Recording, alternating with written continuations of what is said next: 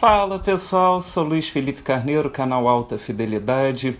Hoje, sexta-feira, dia 16 de setembro, dia da gente dar aquela varrida nas notícias da semana que aconteceu de legal no mundo da música, falar também sobre alguns shows que eu assisti, que vocês estão acompanhando no Instagram, no Facebook, falar sobre alguns CDs bacanas que eu também escutei essa semana e lógico, responder as perguntas de vocês, que vocês continuam mandando.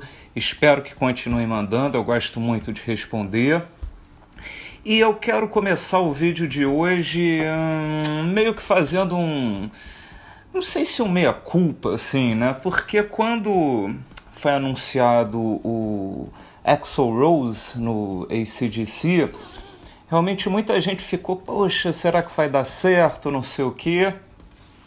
Eu entrei nesse time, é, não exatamente se ia dar certo ou não, mas eu achava melhor realmente que o ACDC esperasse a recuperação do Brian Johnson para poder fazer o. poder voltar à turnê, né? finalizar a turnê do Rock or Bust. Tô até com a camisa aqui. É, porque eu falei, eu pensei, pô, esse DC realmente mudar o vocalista numa altura dessa, já no final da turnê, será que não era melhor nem que fosse cancelar a turnê, esperar o Brian Johnson melhorar, aí gravar um disco novo, de repente sair em turnê?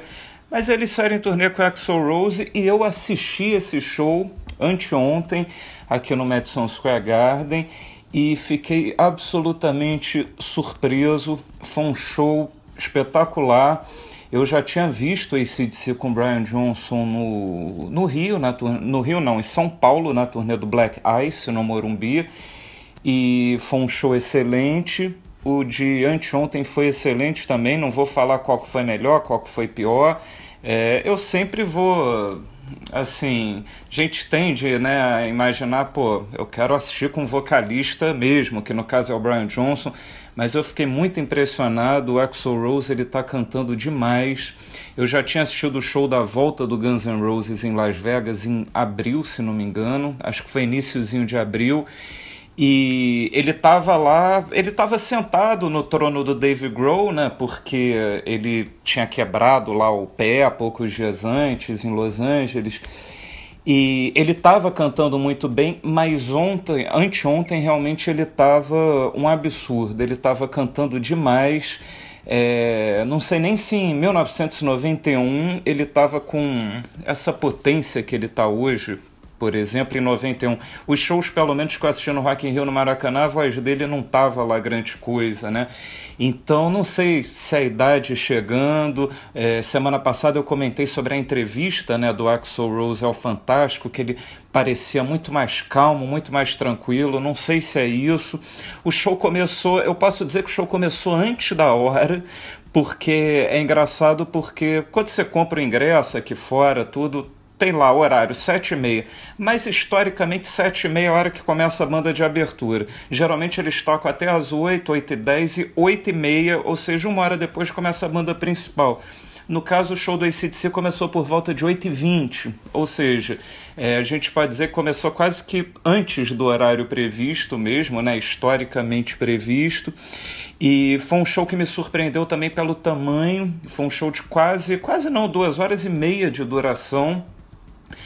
foram 24 músicas no set list e eu já tinha comentado num vídeo aqui, aliás, num vídeo acho que foi numa postagem no Facebook, né?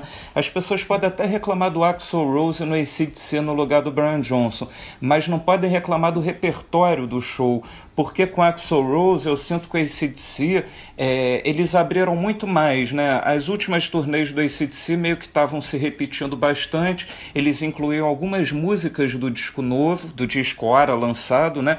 E tocavam os clássicos, Back in Black, Thunderstruck, For Those About to Rock, e com a entrada do Axel Rose, né, o estilo diferente de cantar, tudo, eles incluíram músicas que eu nunca imaginava que eu fosse assistir o ACDC, músicas da era do Bon Scott, né, de repente que o Brian Johnson preferia cantar as músicas da era dele, tudo.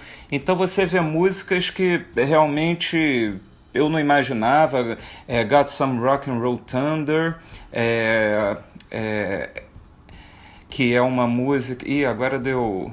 deu pau aqui na internet. Vamos ver se volta. Não, não tá voltando não, mas dá para lembrar aqui de alguma coisa. Riff Raff, né, no Bis, entre o Highway to Hell e Photos About to Rock, que é uma música que é, é uma das prediletas do Axel Rose, ele já falou isso, eu não imaginava vendo um show do ACDC. Por exemplo, é, If You Want Blood, You've Got It, Give the Dog a Bone, ou seja, músicas assim, o High Voltas, que eu não não esperava e que ficou muito legal mesmo, o Axel Rose cantando bem, respeitando muito, né? No show do ACDC tem aquela aquela passarela e que geralmente o Brian Johnson e o Angus Young ficam lá circulando tudo. E uma coisa que me chamou a atenção é que o Axel Rose ele só foi para passarela em três momentos do show é, e o Angus deve ter ido umas 30 vezes, ou seja, eu não sei que tipo de papo rolou antes, eu não sei se. Eu não acredito que tenha rolado papo, né? O Axel Rose é, é, malandro tudo, ele sabe que o espetáculo é do Angus Young, então eu achei muito legal a postura do Axel Rose, né? Ele se portou como um coadjuvante total, coadjuvante, sempre é, em diversos momentos, quando o Angus estava solando tudo, ele ia para o fundo do palco. Ele sabia que ele estava lá com um papel de coadjuvante, de certa forma, ele também estava homenageando uma das bandas que influenciaram né, a sua carreira, o Guns N' Roses. Então achei muito bacana mesmo, show cheio de clássicos, aqueles clássicos que o sempre toca no show. That Be Rock foi um dos grandes momentos foi antes, última antes do Bis, o Angus Young lá se contorcendo no palco tocando guitarra, versão de 15 minutos, como costuma ser nos shows, né? O Fartos About Rock no final, com os canhões, Highway to Hell, é, Thunderstruck, é uma música que sempre faz muito sucesso nos shows, Back in Black, Shoot to Thrill, é, You Shook Me All Night Long, até postei um trechinho no Instagram dessa música, quando eu postei foto no Facebook, muita gente falou, quero vídeo, e eu odeio filmar em show, mas eu filmei lá um pouquinho, postei, enfim, muito bacana mesmo, seria muito legal se esse show fosse ao Brasil, porque é, eu me lembro quando eu postei sobre o o Maroon 5, né, primeira atração do Rock in Rio, num vídeo de duas semanas atrás, muita gente comentou, caramba, eu imaginando a ACDC com Axel Rose, e todo mundo falou ACDC, Axel Rose, ACDC, Axel Rose, eu não sei se a banda vai continuar, ainda falta um ano para o Rock in Rio, não sei se o Axel, o que que vai ser, né, porque o Axel Rose também está em turnê com Guns N' Roses, e diz que vai lançar disco novo com Guns N' Roses, mas seria muito bacana esse show no Brasil, como falou, como comentou o meu amigo PC no Facebook, é show para Maracanã lotado e seria um show muito bacana no Rock in Rio, se viesse. Acho que combinaria bem, né? O ACDC, Guns N' Roses, ambas as bandas têm a cara do Rock in Rio, né? O ACDC se destacou em 85, Guns N' Roses em 91. Em 2001 também dá para dizer que foi um show bacana. 2011 é melhor esquecer. Então, é, fica aí, falei sobre esse show do ACDC, muito bacana mesmo. É, e eu falei tanto, ah, preferia que não tivesse que eles cancelassem a turnê e depois de ver o show, não, ainda bem que eu vi esse show, foi um show legal, foi um show digno, Axel Rose se portou muito bem, cantou muito bem, Angus Young tocou que nem um demônio, então muito bacana mesmo. E já que a gente está falando de Axel Rose Guns N' Roses, falar um pouquinho sobre a turnê do Guns N' Roses, né, a turnê de reunião, que, ao que tudo indica, os números não são muito oficiais, mas ao que tudo indica, já é a turnê mais lucrativa do ano. É, bateu o Bruce Springsteen, que, que é, de turnê mais lucrativa do ano. Aliás, o Bruce Springsteen encerrou a The River Tour anteontem, foi em Foxborough. É, é até aqui perto de Nova York, mas não tão perto, deve ser umas quatro horas de carro eles encerraram a, essa porque eles começaram ginásio nos Estados Unidos, foram para os estádios da Europa e voltaram para 10 datas em estádios dos Estados Unidos. Eles já anunciaram uma turnê de verão na Austrália em janeiro de 2017, janeiro e fevereiro, só que ela não se chama mais The River Tour. Eu acho que a The River Tour realmente encerrou. É, mas ao mesmo tempo é, o fato dele ter anunciado esse show em janeiro, esses shows, sei lá, deve ser uns 10 shows em 12, Austrália e Nova Zelândia em janeiro, meio que dá uma esperança de um Rock in Rio, né, pro Bruce Springsteen, porque é sinal de que ele falou que vai lançar um disco novo ano que vem sem a Street Band, mas ao que tudo indica, ele pode ficar lá fazendo uns showzinhos com a banda, com a Street Band, independente do disco novo. Então vamos torcer. Mas voltando aqui para o Guns N' Roses, eles já lucraram cerca de 103 milhões de euros nesses shows. E vai lucrar muito mais, né? Porque vai passar pela América Latina muito em breve, Brasil, os ingressos estão vendendo bem. O Rio, pelo que eu vi, ainda tinha bastante ingresso. Aí eu acho que a pista VIP, que historicamente esgota rapidinho, ainda tinha ingresso. Mas até lá vai acabar, mas eu estava imaginando que fosse esgotar em um dia, ia ter show extra, realmente fiquei surpreso.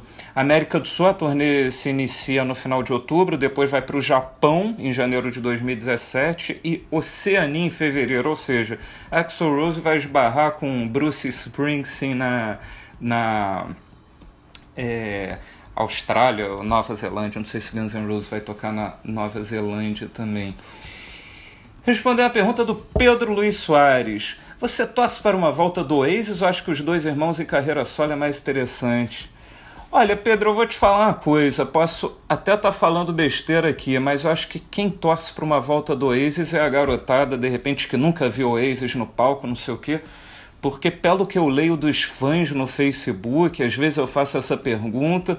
Geral, assim, prefere a carreira solo do Noel Gallagher eu estou nesse time. É lógico, os três primeiros discos do Oasis, né? A gente pode falar o, inclusive, até o Be Here Now. Depois eles lançaram discos muito bons, mas para mim os três primeiros é o, o cerne lá do negócio.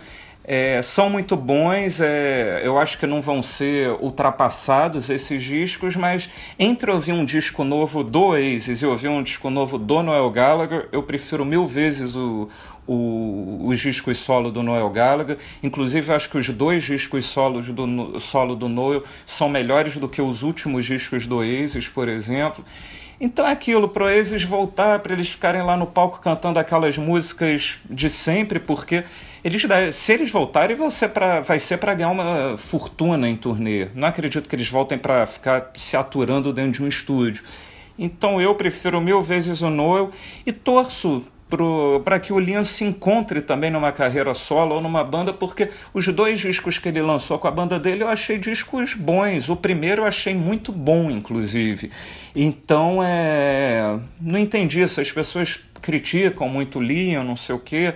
Acho que os fãs do Oasis estão mais pro lado do Noel, mas eu gostei muito dos dois discos e torço, porque aí a gente fica dois lançamentos ao invés de só um do Oasis, ou nenhum, porque eu acho que disco de inéditas do Oasis, muito difícil. Acho que se eles voltarem vai ser para uma grande turnê milionária. E de Oasis vão para Bowie. Uma boa notícia, foi a notícia que eu mais gostei nessa semana. Eu me lembro que quando saiu Black Star, ele morreu logo depois, aí falaram: não, tem gravações inéditas do Black Star.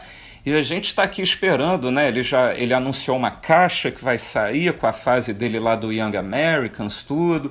Mas é, agora vão sair as três músicas, em tese, as três músicas inéditas que ficaram de fora do Black Star, finalmente vão ser lançadas. É, ela vai fazer parte do disco Lazarus Cast Album. A imagem da capa está por aqui em algum lugar, ou já colocaram e já tiraram, ou então esqueceram de colocar mas é porque o, teve um musical sobre o David Bowie, aqui, estreou aqui em Nova York, ninguém conseguiu ingresso, que esgotou em uma hora e ficou só um mês em cartaz, e agora está indo para Londres esse musical, só que o elenco que fez aqui em Nova York gravou um álbum, gravou na noite, véspera do David Bowie morrer, inclusive eles ficaram sabendo da morte do David Bowie no estúdio enquanto gravavam o disco, então vai sair a gravação, né? Assim, é muito comum essas gravações de musical da Broadway sair em CD. Aliás, todos saem praticamente. O Hamilton, que está aí fazendo um sucesso, Acho Fantasma da Ópera, Os Miseráveis. Então agora vai ter o Lazarus do Bowie. É, tem algumas músicas novas do Bowie e tem sucessos. Por exemplo, é, aqui tem Changes, Where Are We Now, do Next Day. Life on Mars, All the, All the Young Dudes, Sound Division, é, Heroes, It's, This Is Not America, ou seja, é um musical assim com alguns sucessos e tem Lazarus, por exemplo. Então é, é um CD duplo, o CD1 é a gravação do elenco e o CD2 são as três músicas inéditas do Bowie, No Plan, Killing a Little Time, When I Met You e também tem Lazarus que ele repete do Black Star, pelo, ao que tudo indica não é uma versão inédita do Lazarus. Então eu estou bem ansioso, vai sair que dia vai sair? Eu sei que é final de. dia 21 de outubro, CD duplo ou o LP triplo. Então é, é, grande lançamento. Fico feliz aí que a obra do David Bowie esteja correndo, porque tem que correr mesmo. Eu me lembro quando o Black Star saiu, eu comentei. Para mim é o melhor disco do David Bowie. É, me lembro eu ligando para o Biofá, cara, o melhor disco do David Bowie. Ele, ah, Luiz, você gosta de exagerar, não sei o quê. E o tempo está provando que se não é o melhor disco do David Bowie, a gente pode colocar entre os três, quatro melhores. Inclusive eu estava lendo a Rolling Stone americana dessa quinzena, que tem o Green Day na capa, e tem no final assim, ah, tipo, uma discografia do Bowie com textos pequenininhos, e eles selecionaram é, três discos essenciais, que era o Hunky Dory, o Zig Stardust e o Black Star. Eu acho que tinha mais um, não sei se era o Station to Station, mas você vê, eles já colocaram o Black Star entre os essenciais, entre os três ou quatro melhores da carreira do Bowie. Então fico feliz, porque quando eu escutei esse disco, realmente eu falei, isso deu uma obra-prima e o tempo está provando que realmente o é. E de boa, e vamos para outro show que eu assisti nessa semana. Ico and the Bunnymen foi no Webster Hall. É, show absolutamente lotado, você não conseguia nem respirar lá dentro. O Webster Hall é a discoteca mais antiga de Nova York, ela data dos anos 1870 e alguma coisa. Está lá até hoje no mesmo lugar e costuma ter shows. O Green Day vai fazer um show lá, acho que daqui a algumas semanas. O LCD Sound System, o show da volta deles antes do Coachella foi lá. Eu me lembro que eu assisti no domingo de Páscoa desse ano. E o Echo and the Bunnymen fez um show, me senti de volta aos anos 80, um show bem legal, aquela coisa bem escura, pouca iluminação, você quer tirar uma foto, é até difícil. Set list com músicas, as músicas mais importantes deles, com destaque para o disco Crocodiles, né? Eles cantaram seis músicas desse disco. É um disco que eu acho bem legal. Pena que Ocean Rain ficou restrito a duas músicas. Eles cantaram My Kingdom, The Killing Moon, Porcupine, Heads é, Will Roll e o The Cutter. É, terminaram com Lips Like Sugar, do auto-intitulado disco dele, acho que foi a música que mais levantou a galera. E é impressionante, eu fico. É, é uma casa lá, deve caber o quê? Umas 1.500 pessoas, ingressos esgotados no dia que começa a vender. E eu fico feliz de ver essas bandas é, dos anos 80, que ainda tem o público, né? As pessoas são muito alucinadas, todo mundo com camisa da banda, cantando as músicas do início ao fim. Então, é, é, gostei muito de ter visto esse show. Nunca tinha visto um show do Echo and the Bunnymen. Eles fizeram uma turnê no Brasil alguns anos atrás, deve ter o quê? Uns 7, 8 anos, cantando Ocean Rain inteiro. Infelizmente eu não pude ir. E, pô, não me lembro o nome, mas um amigo nosso do canal que assiste o canal comentou: pô, assistiu Ocean Rain quase inteiro em BH, não sei o que, devia ter 500 pessoas no lugar, público, é, a casa vazia, né? E é isso, é uma pena, mas pelo menos é, aqui você consegue ver um show do Echo and the Bunnymen como, como merece ser, né? Porque realmente uma grande banda. O pessoal tava me cobrando, faz um vídeo deles, não sei o quê. Eu já gravei sobre Ocean Rain, mas eu não sei se falar, porque é tanto vídeo, às vezes tem coisas que falar há um ano e eu não me lembro. Mas se não foi ao ar, vai ao ar muito em breve, pode ficar tranquilo. E o que mais eu quero falar? Iron Maiden. Sempre bom falar de Iron Maiden, né? Steve Harris, ele deu uma entrevista para a revista Metal Hammer, que tá na edição, vai publicar agora a edição de 30 anos de aniversário, né? Uma revista super importante, que sempre deu muita moral para Iron Maiden, mesmo naquela época lá de... Eh, acho que sei lá, meados dos anos 90, né? Não só o Iron Maiden, mas acho que o metal estava meio fora de moda, tudo. Também teve a saída do Bruce Dixon. E o Steve Harris falou que ele está no melhor emprego do mundo. É, fala sobre o câncer do Bruce Dixon, felizmente curado, diz que foi um tempo muito duro. É, eles achavam que não tinha mais muito tempo para gravar um disco, fazer show, mas acabou que gravaram também. Eu falei do Black Star do Bowie, para mim o Book of Souls é um dos melhores discos da carreira do Iron Maiden e que gerou uma das melhores turnês deles, pelo menos das turnês que eu vi, né? Que digamos do do Brave New World para cá, eu acho que o Book of Souls talvez seja a melhor turnê do Iron Maiden. E então ele fala sobre a alegria dele de estar tá na banda, promete coisas novas, diz que é, muita coisa ainda está por vir. Então, é, isso era o que eu tinha para falar sobre o Iron Maiden. Falar sobre um outro show que eu assisti John Mayo, assisti, eu tava na dúvida se eu ia, aí eu falei com o Biofal, o Biofal falou, cara, você não pode deixar de ir, que ele já tinha assistido não sei aonde, não sei o quê, e fiquei surpreso porque eu postei no Facebook, e, pô, amigo meu, Tranjan, já assistiu no, no Morro da Urca, é, o outro, o Ricardo Igreja, assistiu no Festival do Rio, de Rio das Ostras, então, um cara bem querido no canal, John Mayo tá aqui, é, esse é o último disco dele e ele tava lá autografando o disco dele. Eu cheguei na casa, tava ele numa mesinha lá. eu falei, pô, o cara tá aqui, tava lá autografando, ele mesmo vendendo o próprio disco. Ou seja, o cara absolutamente na boa, tranquilão. É, é, eu tava com uma camisa do Bruce Springsteen. It's a nice man, it's a nice man. Conversamos sobre Bruce Springsteen, cara uma simpatia total. Tirei uma foto lá meio esquisita com ele. Tá aqui, ou então já tiraram, ou então não tá, não sei. Tirei uma foto meio esquisita que eu não queria encher o saco do cara, tudo, mas é... é... O show foi muito legal, ele tá com, acho que com 83 anos, tá com uma...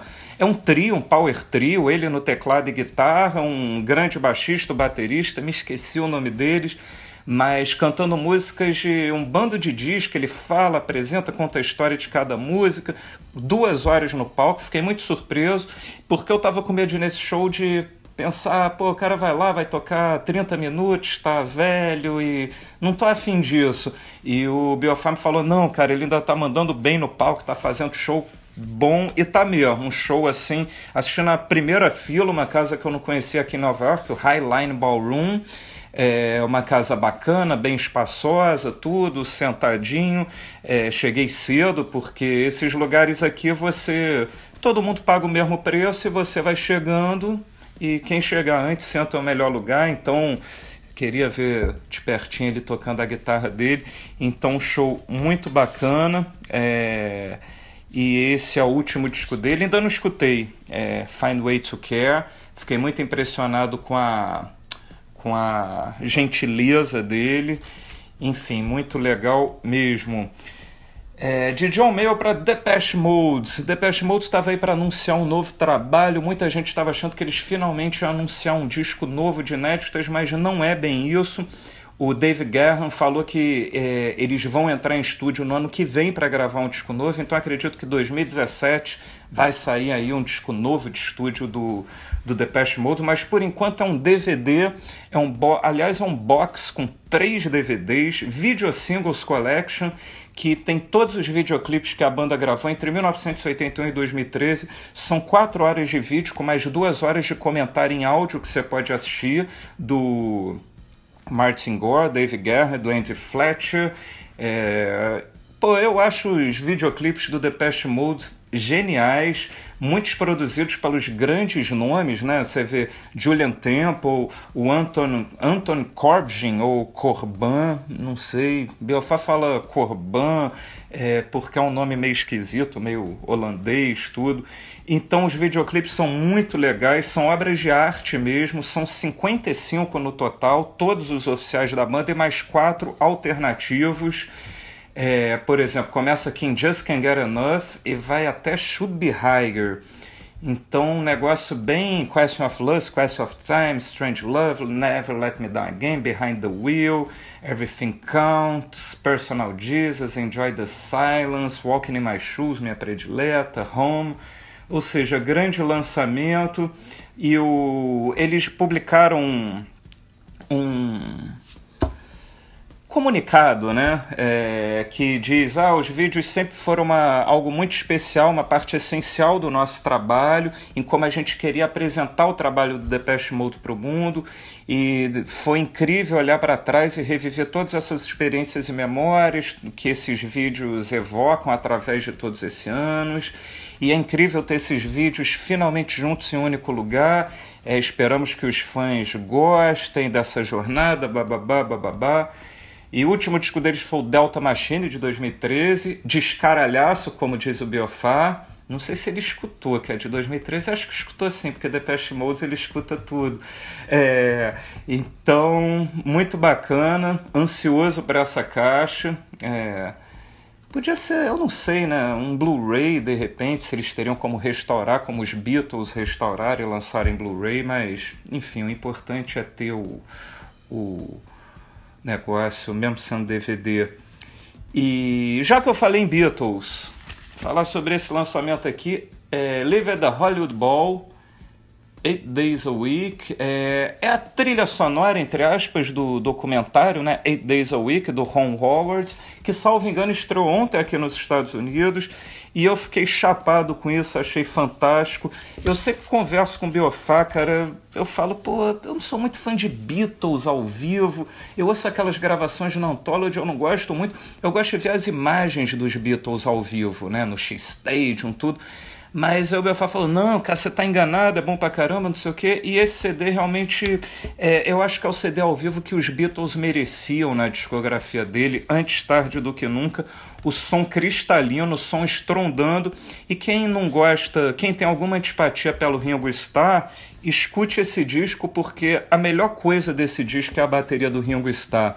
Você vai ver o quanto o cara tocava e por que ele tá aqui do lado do Paul, do Paul, Paul, do Paul, do George e do e do John, é, realmente o cara arrebenta nesse disco, toca pra cacete, o repertório é sensacional, Twist and Shout, Ticket to Ride, Can't Buy Me Love, Things We Said Today, A Hard Day's Night, Help All My Love, and She Loves You, é, You Can Do That, And Hold Your Hands, ou seja, o disco ao vivo que os Beatles precisavam, eu recomendo demais. Por enquanto só sai o CD, vai sair o LP em, em. Aqui tá. Vai sair o DVD e o Blu-ray em novembro de 2016 e o LP também. Acredito que saia tudo na mesma época. Tem aqui. Vocês conseguem ver fotos. É, tem um texto imenso do David Freak, da Rolling Stone. É, aqui é a loucura né, dos tempos da, Beatlemania. Eu estava lendo, em Encarte é Bem Rico, tem uma reportagem de jornal da época que é a. Aqui. Beatle fan Natalie Cole, 14, filha do cantor Nat King Cole, foi levada para o Hollywood Bowl pelo chofer motorista do pai, Ellis Dean. E a Natalie Cole disse: Eu gosto da, das músicas. Uh, I like my dad singing better. É, eu prefiro meu pai cantando, né? A voz do meu pai do que os Beatles, mas os Beatles são mais bonitinhos do que o meu pai.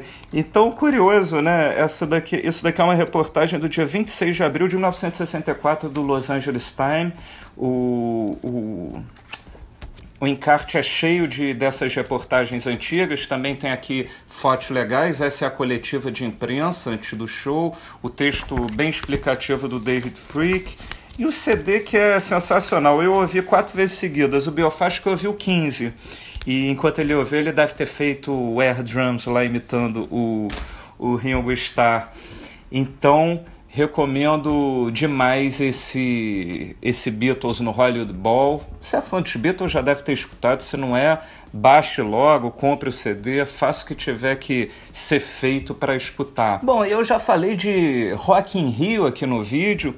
Falar também uma notícia que saiu na madrugada de quarta para quinta. Red Hot Chili Peppers foi anunciado Eles vão encerrar a última noite, dia 24 de setembro, ou seja, assim como em 2001, eles vão encerrar o festival.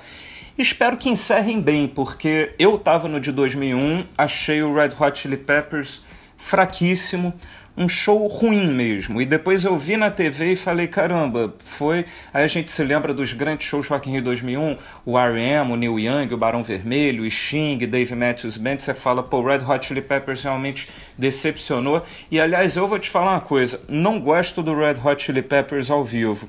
O que é curioso, porque é, tem muita banda que eu não gosto dos discos e ama ao vivo. O Red Hot Chili Peppers eu gosto dos discos, mas não consigo gostar ao vivo. Tem uma coisa lá que me incomoda. Às vezes eles ficam enrolando numas jam sessions lá meio. Enfim, eu assisti no Rock in Rio de 2001, não gostei. Depois assisti no Metropolitan, não gostei. Depois assisti no Rock in Rio de 2011, achei um pouquinho melhor do que o de 2001, mas também não me disse muita coisa. Espero que eles façam um, um, show legal, muita gente feliz nas redes sociais e muita gente reclamando, falando que, que o festival não deveria se chamar Rock in Rio, mas repetição em Rio, porque são sempre as mesmas bandas, Maroon 5, Red Hot Chili Peppers. Eu já falei sobre isso no vídeo duas semanas atrás. Eu acho que é muito difícil hoje em dia você trazer coisas inéditas para o Brasil, a não ser que seja um Depeche Mode, um The Who, não sei o que, Phil Collins, porque quase todo mundo já tocou no Brasil, ainda bem. Mas então é difícil trazer algo inédito, mas eu acho que pelo menos o Red Hot Chili Peppers, diferentemente do Maroon 5, é uma banda digna para encerrar uma noite de Rock in Rio. E então eu espero que eles façam um bom show. É, eu assim, eu gostei do último disco dele, fiz um vídeo sobre o The Getaway. Tomara que eles façam um bom show, tomara que o Rock in Rio continue anunciando aí coisas mais do nível do Red Hot Chili Peppers que do nível do Maroon 5. E nessa onda, o João Gabriel me pergunta qual atração você gostaria no Rock in Rio 2017. O João Gabriel diz que escolheria o Exo Ro Desculpa, João. O Eric Clapton. É, olha, eu vou te falar, o João, eu jamais escolheria o Eric Clapton porque eu assisti dois shows do Eric Clapton e eu acho que não tem nada a ver com o Rock in Rio.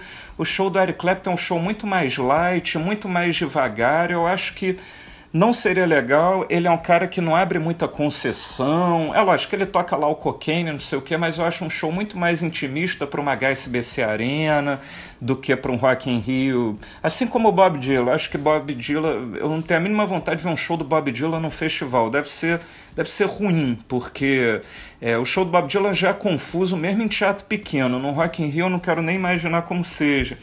E você me pergunta qual atração eu gostaria de ver no Rock in Rio 2017. Eu vou ser muito sincero, eu não gostaria de ver nenhuma atração que realmente eu ame porque eu acho que o Rock in Rio é um festival que o público de, hoje deixa a música em segundo plano.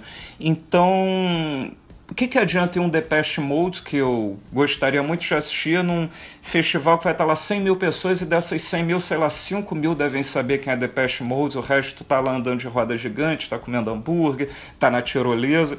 Então, é, realmente eu não faço questão, porque também o Rock in Rio, apesar de ser extremamente bem organizado, um festival maravilhoso, bonito, tudo, é, é um festival para muita gente. Então, eu não quero ver o Depeche Mode 100 mil pessoas e dessas 100 mil pessoas, 85 mil não sabem o que está acontecendo. Isso aconteceu com Bruce Springsteen, que aliás foi ótimo, que acabou o show do, o show do John Mayer e eu acho que 70% do público foi embora. Então deixou realmente para os fãs do Bruce e essa galera que foi embora deve, deve se arrepender tanto, né? Assistiu um showzinho de bosta, com todo o respeito do John Mayer, foi embora e não viu o Bruce Springsteen, considerado por muitos o melhor show da história do Rock in Rio. Mas é aquilo, eu falei que eu não quero nenhum artista que eu goste muito no Rock in Rio, mas um Bruce Springsteen acho que seria legal, porque eu acho que o Bruce Springsteen meio que virou a cara do Rock in Rio depois do show dele. É, eu acho que é um cara fez um showzaço, encerrou noite, poderia encerrar outra noite. E eu também falo do Bruce Springsteen que por mim estaria tudo bem, porque eu acho que mais uma vez metade do público ia embora, então ficaria mais tranquilo para assistir. Então, Bruce eu gostaria, mas sempre um Depeche Mode não, The Who não. Prefiro, prefiro assistir num lugar menor. E se não for para de repente assistir num lugar menor, prefiro nem assistir do que assistir com 100 mil pessoas no Rock in Rio. E um outro que eu acho que poderia ser legal, porque esse eu acho que realmente combina com o Rock in Rio. Eu amo ele, mas esse eu até gostaria de ver no Rock in Rio, é o Phil Collins. Eu acho que tem tudo a ver, eu imagino uma noite ele cantando duas horas e meia todos os sucessos dele. É, é, de preferência numa noite de abertura, né? Que eu acho que tem tudo a ver. Geralmente noite de abertura é aquela noite do público mais velho. Então é, eu acho que seria muito legal. E vamos torcer para o Phil, porque ele já tocou aqui no US Open, de repente pode estar para anunciar uma turnê a qualquer momento. E o Bruce também, como eu falei no início do vídeo, ele vai tocar na Austrália em janeiro, de repente ele vai estendendo aí com a Street Band, tá enchendo o bolso de dinheiro, então é... vamos torcer. E chegando aqui no final, Santana, lançamento do Santana, eles lançaram um disco 4 nesse ano, né? O Santana 4, que eu já fiz vídeo, que eu achei muito bom. Eu estava odiando os últimos discos do Santana, muito pop demais para o meu gosto, mas esse 4 é legal porque é com a mesma banda que tocou com ele no Festival de Woodstock, então tá um Santana muito mais pressão, muito mais rock and roll, é, rock and roll com aquela percussão toda, sem aquelas coisas de, de Maria Maria, não sei o que, que ele andou gravando, que eu acho muito ruim mesmo. E no dia 21 de outubro vai sair Santana 4 Live at the House of Blues, Las Vegas. É, é o show dessa turnê, vai ser o combo de CD duplo DVD ou CD duplo e Blu-ray.